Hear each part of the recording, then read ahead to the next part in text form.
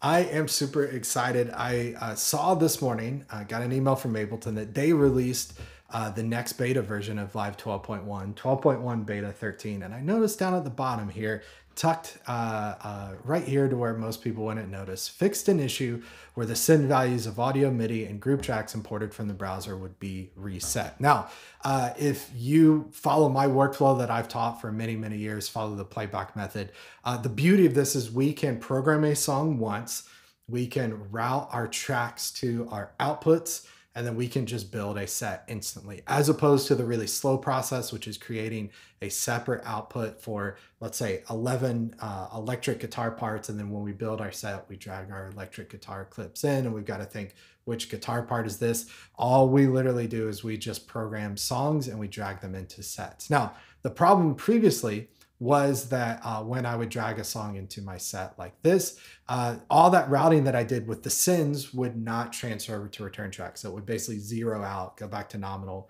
Um, I did not want that, right? And when customers and students would write in, we'd say, hey, it's actually a bug. Uh, I reported it in the private beta of Live uh, 12 back before it was even announced, back before it was public beta, uh, and it never got fixed we had students write in. I've just been using Live 11.3, but the cool thing about this now is if I jump over to our song, and I'll show you here.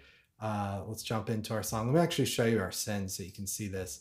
Uh, you will be really excited to know that the sends routing now carries over, right? So that trick of just being able to drag a song in, not have to think about your routing, have multiple outputs, uh, change your multiple outputs to be whatever output on your interface you need them to be based on your context. That is restored as of live beta, uh, live 12.1 beta 13. Now, quick note on this.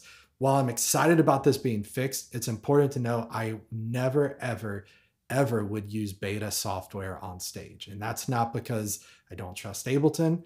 Uh, it's not because I don't trust their developers or I'm expecting there to be bugs, but it's because it's beta software. It has not been tested and they have not given the seal of approval to use on stage yet. What I would do is I would upgrade a, a non mission critical machine and start testing on that. And then once they finally put it into the RC, the release candidate, they'll test that and then it'll eventually be released. So I'm hoping this is a couple weeks. I'm hoping at the most maybe a month. Uh, but I would again encourage you, highly encourage you to download and start testing now. Now, if you want to walk through of the best way to test uh, securely and to upgrade securely, uh, I've got a little podcast that I created that walks you through that, plus a full course for all access members uh, that shows you how to actually upgrade your OS and how to make this a, a really smooth process. If you want to check those out below, you can. Uh, and if you want to purchase Ableton and support this channel, you can click the link below to upgrade to Live 12 because we're almost there and we're almost ready. But Ableton, thanks for fixing that bug. I'm super excited to see that come back. And that means we can get back to building lightning fast Ableton sets in Ableton Live 12 and not just Ableton Live 11.3. Thanks for watching. See you on the next one. Bye, everybody. Take care.